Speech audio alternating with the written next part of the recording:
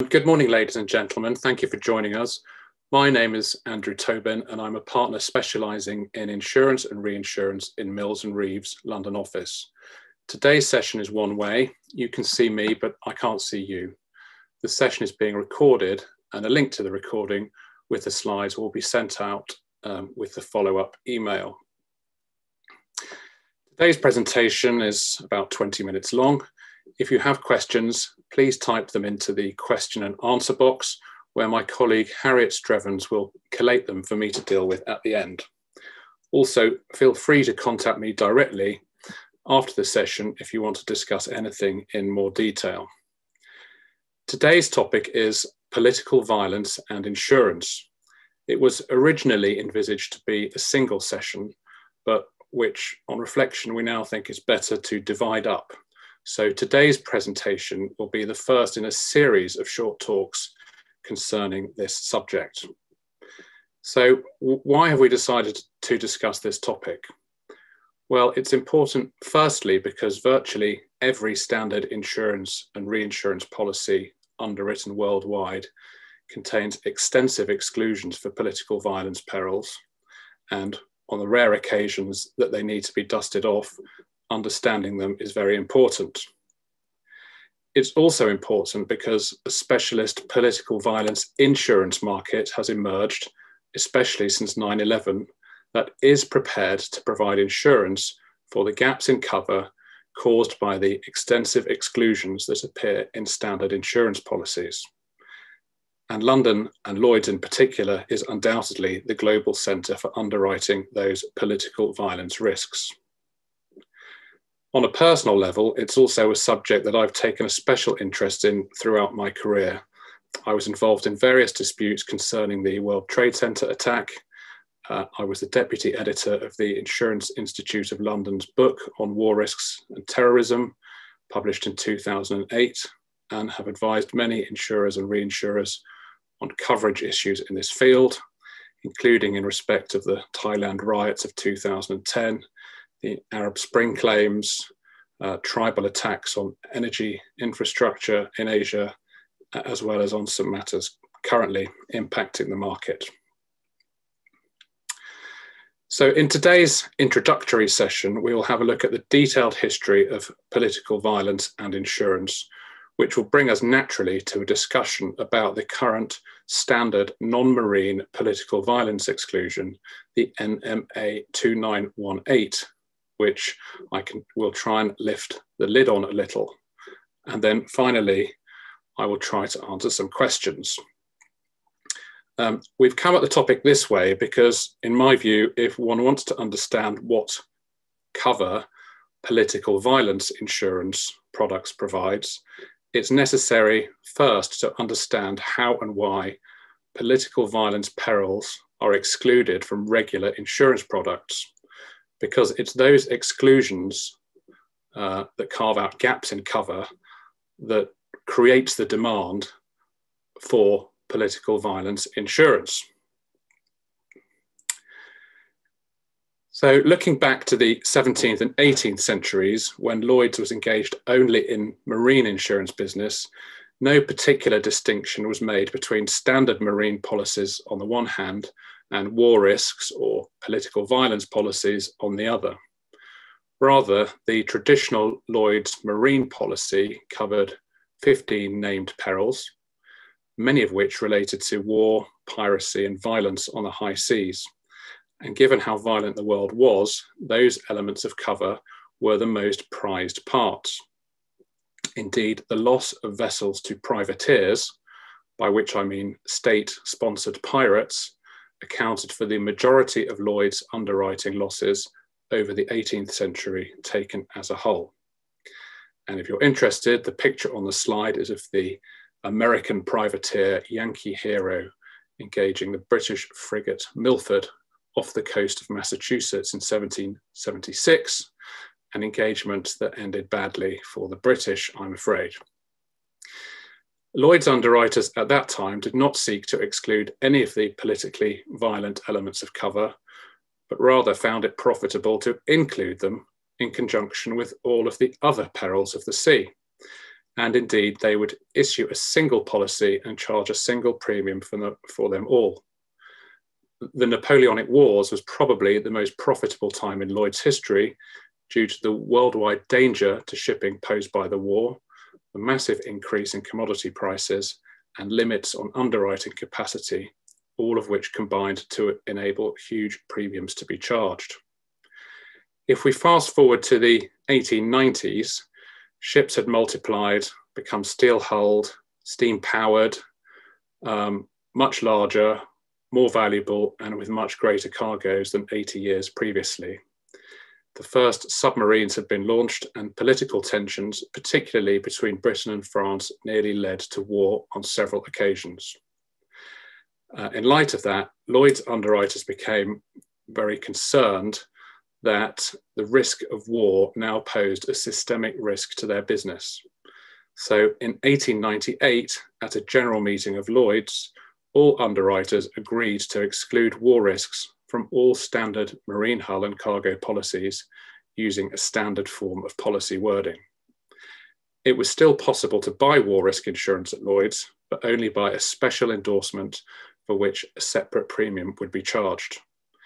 And to this day, the marine market remains divided into the hull market, which, was, which does not cover war and other political perils, and a separate war risk market, which does. But my focus today and in the next sessions is really on non-marine insurance, which is where most of the developments have been in recent years. The history of political violence insurance in the context of a non-marine business is rather shorter than in the marine world. And indeed, Lloyd's only started underwriting non-marine business in the 1890s, albeit in competition with a burgeoning number of insurance companies which were already doing so. And as far as we can tell, most non-marine insurers covered damage to property without necessarily excluding war or any other perils related to political violence, although some exclusions seem to have been used on an ad hoc basis. And broadly, that was the position of non-marine insurers right up until 1915, when German Zeppelin bombers attacked the London docks. Uh, that panics the property insurance market into quickly excluding liability for aerial bombardment, war, and uh, various other uh, peril, political violence perils, even in domestic insurances. But enterprising underwriters at Lloyd's quickly saw an opportunity to sell a standalone policy that would specifically cover damage for those air raids and other war risk perils. And given that everybody wanted insurance against Zeppelin raids and that Zeppelins did little damage to insured uh, overall, it was very profitable business for the, especially for the insurers who uh, started underwriting this business first. Um, but it didn't take long before other insurers piled into the business as this rather alarming advert for the British and Dominions in insurance company shows. I don't know if you can see it, but the, the poster on the left says, your fire policy does not cover you for acts of war. And it then goes on to give details of the policy and the premium. Um, you could even buy one from the Daily Mail, one of these policies.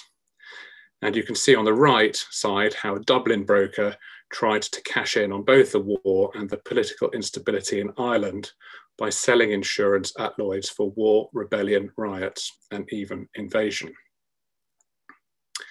So these were the first um, political violence policies that were underwritten on the non-marine side at Lloyd's. Uh, after the war, Lloyd's insurers were engaged in a scramble for new business, and it seems that they fell over themselves to write more and more comprehensive policies, including cover for war and other kinds of political violence in many of the world's political hotspots where the highest premiums could be earned.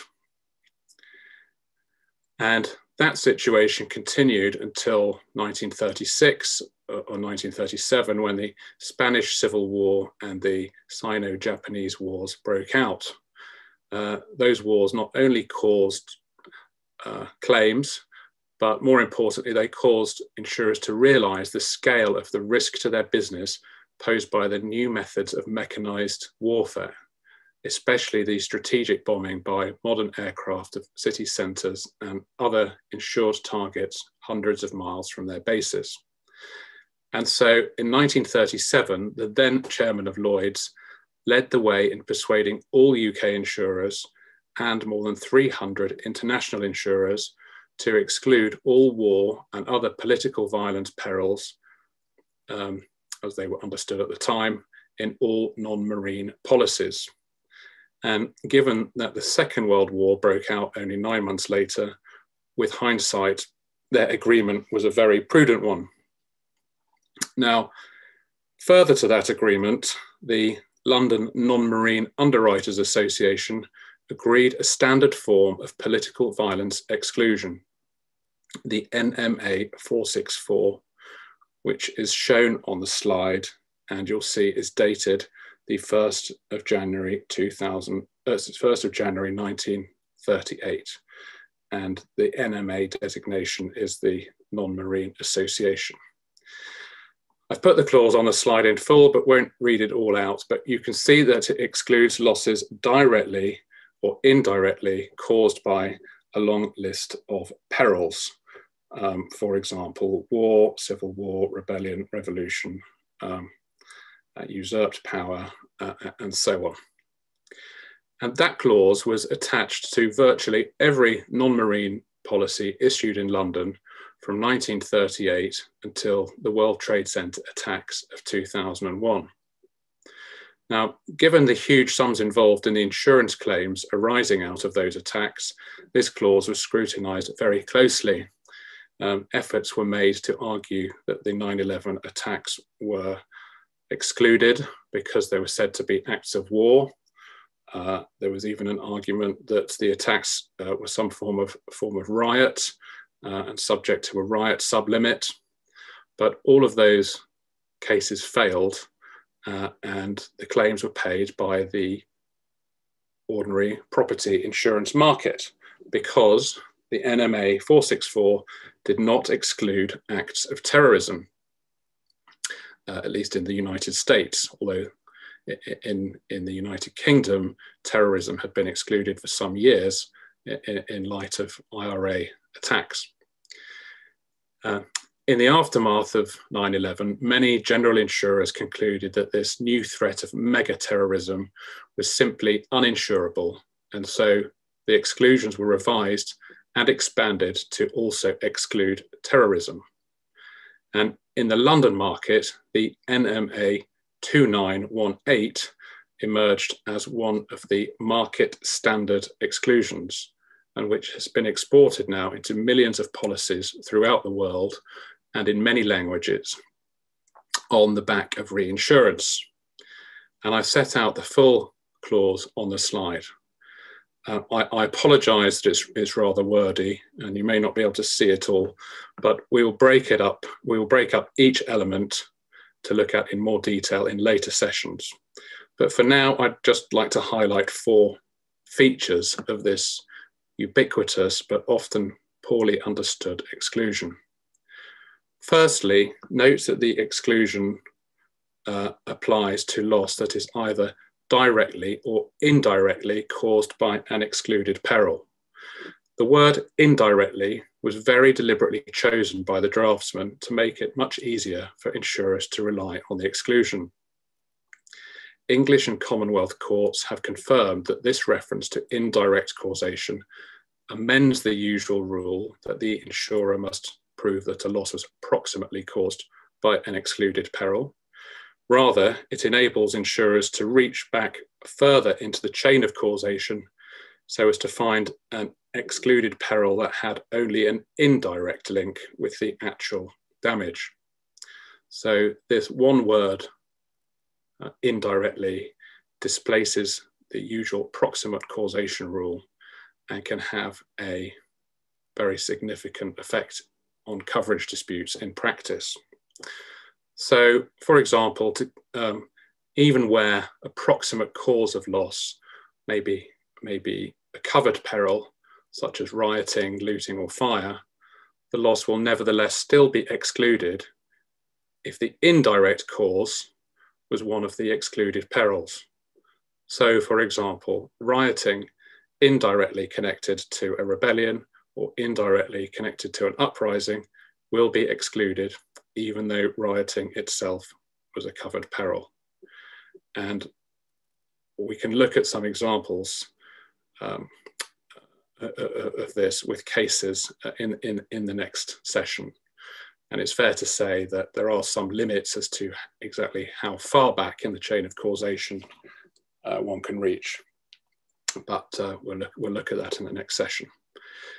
Secondly, the clause contains a long list of political violence perils, none of which are defined on the face of the clause, and some of which to appear to be very obscure to ordinary readers, such as um, usurped power, for example.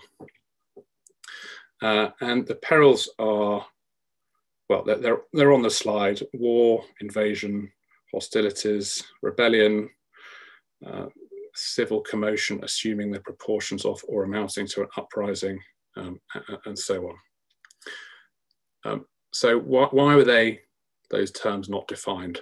Well, I suspect the drafters of this wording were happy not to add definitions because most of the words describing the excluded perils had already been considered by English courts at the time the clause was drafted. And in fact, the meaning of most of them is quite settled as a matter of law. Um, and I will look at the specific meaning of each peril uh, in, in the later sessions, but the practical point for now is that if you need to understand what these words mean, then it's necessary to find to, to refer to case law to find out. A dictionary is unlikely to help. Thirdly, note that terrorism now appears as an exclusion, where it was not mentioned in the NMA 464.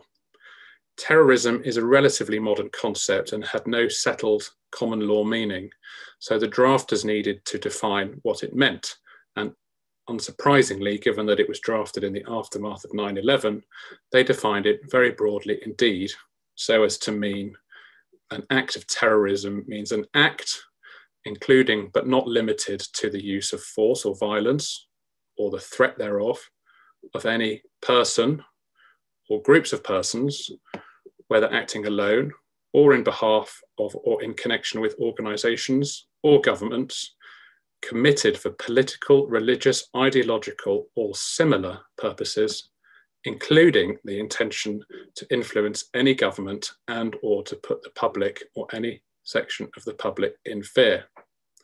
Again, uh, I'd like to look at this clause further in due course, but for now, I would simply observe that it's very, very wide and is capable of encompassing all kinds of violent activity that has a political, religious, or ideological or similar motivation, and not simply the activities of uh, the terrorist groups that you might have in your mind's eye.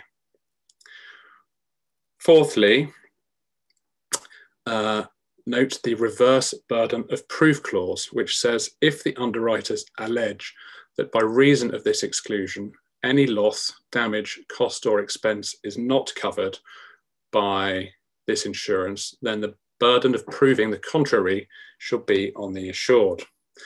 And that is another method used by the drafters of the clause to make it easier for insurers to invoke this exclusion. And one doesn't tend to see this in regards to any other types of exclusions in policies. It seems usually only to be deployed in this political violence exclusion.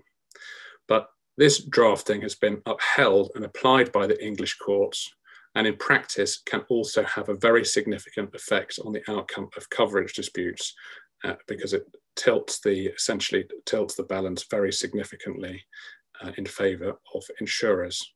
And again, it's something I'd like to look at in more detail in the next session with, with some examples.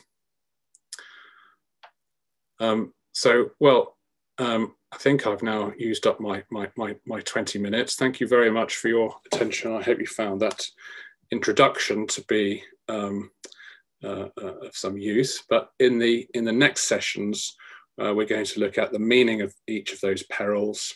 We'll look at the concepts of direct and indirect causation a bit more closely with some practical examples, uh, as well as the um, reverse burden of proof.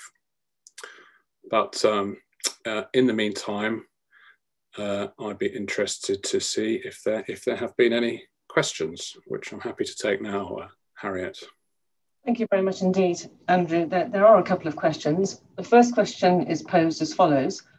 What kinds of evidence do insurers need to rely on these exclusions? Um, well, it's a, it's, a, it's a good question. Um, the, the broad answer to which is that insurers need to uh, do their best to obtain whatever credible and compelling evidence they, they, can, they can get their hands on.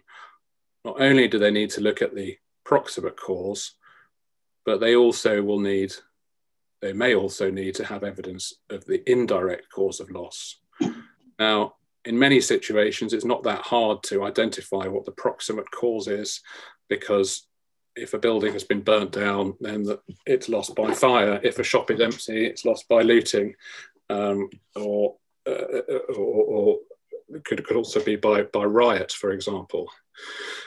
But um, that's not necessarily the end of the analysis for these exclusions because the question is what was the indirect cause? What was the backdrop against which those um, immediate causes of loss occurred?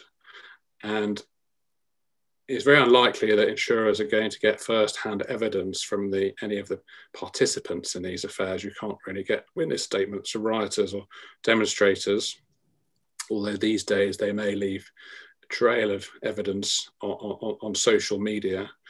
Um, but one needs to build a picture. So typically one starts with um, uh, news reports from credible sources, then uh, expert uh, and academic input can be helpful and so on and so forth. So one, one just tries to uh, find as much credible evidence as possible that will be persuasive to, to, a court. Thank you. What about the way in which exclusion clauses work under foreign law as my second question? Um, well, that's also a good question because these London wordings or wordings devised in London, probably the majority of them are used overseas because the majority of um, business underwritten at Lloyd's and in the London market is, is non-UK business. Um, so it's very often the case um, that we're involved in cases um, con concerning foreign law. Now, um, as far as the United States is concerned, um, that they, they also have a body of case law looking at these clauses uh, and perils and causation and so on. Broadly speaking, their case law is, is similar to ours and indeed cross refers to ours, although there are differences in detail. Um, there are cases in the Commonwealth um, reported cases in the Commonwealth on these subjects, and uh, those cases are, are, in line with the English cases. But there are also cases in the civil law world, um, uh, such as uh, Latin America, for example, uh, or, or, in continental Europe, um, where, uh, where, where, where these clauses uh, have not been subject to particular judicial uh, interpretation. There, there are no clear uh, definitions under, under local law uh, and so on. So uh, as London lawyers or London insurers trying to rely on these clauses and perhaps obscure concepts such as um, uprising or um, usurped power or, or so on, uh, uh, may need to uh, try to rely upon uh, the English cases to persuade the foreign court what the parties intended to do. So the argument would tend to go, well, along the lines of, well, there is no local law, but uh, these policies were negotiated in London, and even though your law applies, in the absence of any useful commentary in your law, it's likely that the parties intended these wordings to have the same or similar meaning that they would have under English law. And so, in, in that way, one tries to persuade um, these overseas courts to take account of the English cases and, and indeed, in some cases, the, the US cases. So, it's not a straightforward answer, clearly. Um, well, it, it's, it's difficult to guarantee, it's, it's, difficult to know the extent to which um, your submissions uh, will be taken into account by those overseas courts. But uh, uh, given that we, we often have a lot of law and practice on these points, often a very compelling picture can be built up. Yeah. Well, we look forward to hearing more about the case law next time round, but in keeping with our usual aim to be within our time frame, I'm afraid that's all we've got time for for the moment. So can I pass back the baton to you to close down, Andrew? Uh, well, thank you very much, ladies and gentlemen. Please do uh, connect with me on, on LinkedIn uh, and send me any further questions. Also, if you'd like to have a more detailed discussion about any of this, then, then please do get in touch directly with me.